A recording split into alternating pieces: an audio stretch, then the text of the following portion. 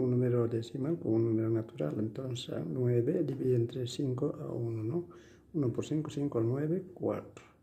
Bajamos siguiente cifra, 46 divide entre 5 a 9. 9 por 5, 45. ¿Cuánto falta al 46? 1.